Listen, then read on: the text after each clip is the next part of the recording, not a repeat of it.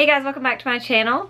So today I have a very informal video for you, but one I'm really excited to do because I get to taste 10 different teas. Um, in December during Vlogmas, I did a unboxing of the Field to Cup tea box. So they are a wonderful tea subscription service. I will link that video down below. You can hear me talk all about the subscri subscription service itself. Um, but today I want to taste all of the teas that I received in that box. Grab yourself a cup of tea and let's get started. I have all of the uncaffeinated ones right here now on this gorgeous kind of platter. they look beautiful. I will put a picture up here of kind of what they look like because they're different um, colors. It's a really beautiful mix of colors. And I'm gonna start with the, the wellness tea. So it is the Stress Cure, a healing blend of Tulsi with lemon lemongrass and Gotu Kola.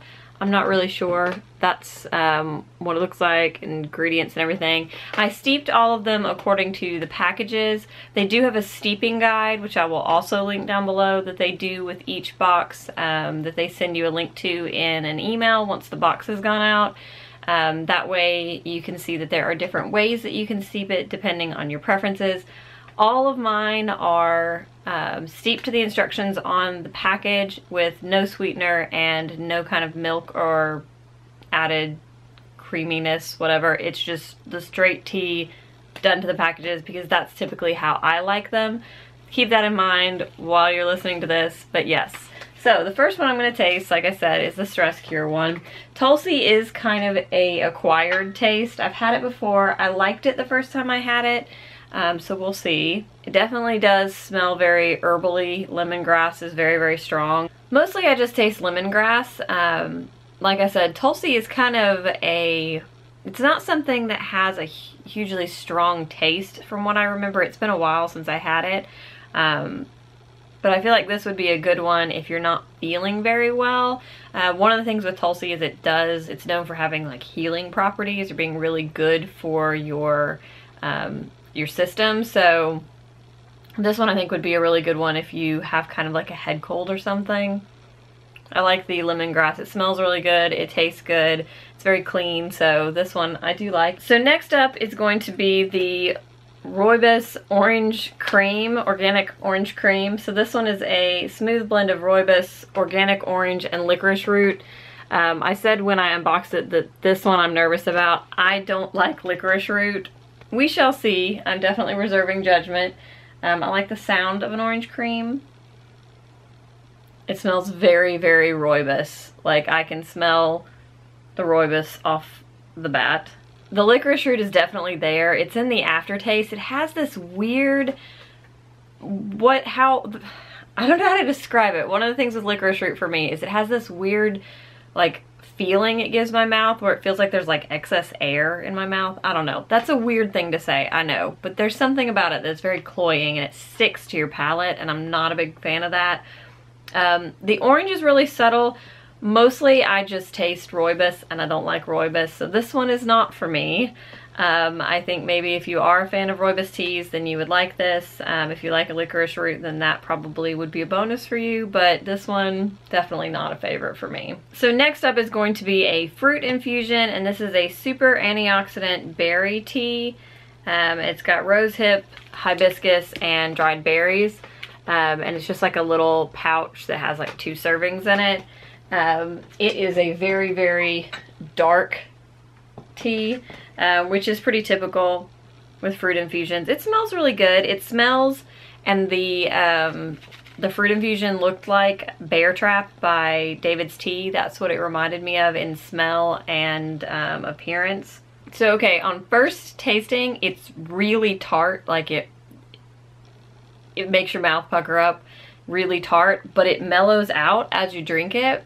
And it has a really nice, um, I can't, I'm not exactly sure. It's kind of that uh, goji berry, but not the like dirty goji berry. It's very, it has like a slight sweetness. Um, it's definitely fruity. Um, this is one that I actually do like. Uh, fruit infusions are not typically my favorite, which is why I usually steer clear of Teavana. Um, but this, I, I do actually really like. It smells nice. It's something I would enjoy in the evening. It's kind of like a little treat instead of maybe gummy candy because it, it reminds me of gummy candy, but as, as a beverage and not overly sweet. It's not cloying for sure. So the last one in the herbal teas is a rooibos tea. It's the forest chai, organic forest chai. Um, and it has cocoa nibs and pieces of ginger. This one smelled super duper strong, so it had um, the dry leaf smells super strong, and it looks the most like traditional tea. Wow, it definitely, it definitely has that spicy smell. It smells like Christmas for sure, um, kind of like cinnamon cake or something. Yeah, this definitely is a good, nice evening chai. Um, the rooibos is mellowed out by the spices and the spices are mellowed out by the rooibos to create a really nice smooth chai flavor. Um, I think if you made this one into a latte, it would lose its flavor because it is pretty subtle. Um, it smelled really spicy to begin with and it still does in the cup, but the actual taste of it is a pretty subtle, um, nice, clean chai. So I'm a fan. I would definitely drink this one in the evenings. It reminds me a little bit of the Stash chai, which is one of my favorites, so kudos on that. Let's talk about green teas. So, there are three green teas that were in this box. The first one is the Cinnamon Orange Sencha Tea. Um, and this one has dried orange and cinnamon in it. And it came in this cute little pouch that was um, like two servings-ish. I have actually already tried this one and I did really like it, so a little bit of a cheat but we're gonna we're gonna dig in and this one has a beautiful light color that is just lovely to look at it does have that telltale cinnamon smell and you would think that the cinnamon would completely overpower the green tea because green teas are so delicate uh, but you can still taste the sencha in there. There's that kind of grassy taste and it's definitely there under the cinnamon. But overall, the cinnamon overpowers the orange. I don't really taste the orange so much. It's there a little bit, um, but you get much more green tea and cinnamon. And it is also the thing with loose leaf teas is that it's also going to depend on what you get in your teaspoon when you are making your cup of tea. Because I know that a lot of times you can get a lot of maybe orange dried orange and a little less cinnamon and you end up with a much more orange flavored tea. So that's something to keep in mind when you're making a cup of tea. I try to scoop around and, and make sure I get a little of everything when I'm making a cup of tea, but like I said, I'd already made one of these, um, so there may not have been as much orange left. So it is still very good though. I like this one. So if you've seen my Friday Reads video, you will know I already tried this one as well, and that is the Banana Chocolate Walnut Green Tea, and it is very banana smelling. I'll tell you that. It has um, almonds and walnuts and banana chips in it, and there are big walnuts in here. It's not little tiny walnut chips or pieces. It's big pieces of actual walnuts. Um, and it definitely, like I said, smells very, very banana-y. It, it kind of reminds me of like banana pudding, the smell. Um, I don't really get as much chocolate as I thought I would, um, but it's there. It's just very subtle. Yeah, it's banana, very, very banana. If you do not like the taste of banana or banana flavored things, you probably won't like this um, because the dried banana chips it tastes just like if you were to eat them out of the bag in liquid form. That's basically what this tastes like to me. It's not my favorite of the teas, but it is very good. Um, I also didn't have as much um, walnut in this one. The first cup I had had more walnut and you could really taste that nutty walnut flavor. Um, so again, it's gonna depend on what kind of cup of tea you're making from the loose leaf. And then the last green tea is the Organic Market Chai green tea and it has cardamom and mint in it, which I think is very interesting. I want to, I'm looking forward to finding out what mint in chai is gonna taste like, definitely. So right off the bat, I smell the mint over anything else. Um, it's definitely, it's definitely got mint in it. To me it tastes like a um, like a Moroccan mint. That's what it tastes like. I don't get the um, cardamom really or the spiciness of a chai. I really get the mint over everything else. Um, so if you like mint teas, this is probably something that's up your alley. I'm not a huge fan of mint tea, so not my favorite again, um, but it's definitely a solid mint tea. And now it's time to talk about the black teas. There were also three black teas in this box. So the cinnamon, Simply Cinnamon Black Tea is one of the ones that I have tried and I really liked this one. Um, this one has cinnamon pieces and black tea leaves. That's it. Very simple, very nice. Yeah, this one's very homey. It's got a really nice smooth cinnamon and a really nice smooth black tea. It's very full bodied and just, it makes me feel warm and cozy. I had this, I think, around Christmas or on Christmas, and it definitely was the perfect winter tea. I will definitely be finishing this up before spring rolls around. It is amazing. So the next one is the Organic Peppermint Zing, and this has peppermint, ginger, and black tea leaves. Um, it's got some other things like orange peel, um, cloves, that kind of thing, cardamom. So it looks like it's gonna be a spicy black tea as well. I definitely smell the mint in there. It is very strong. Hmm, I'm not really sure what I think of this.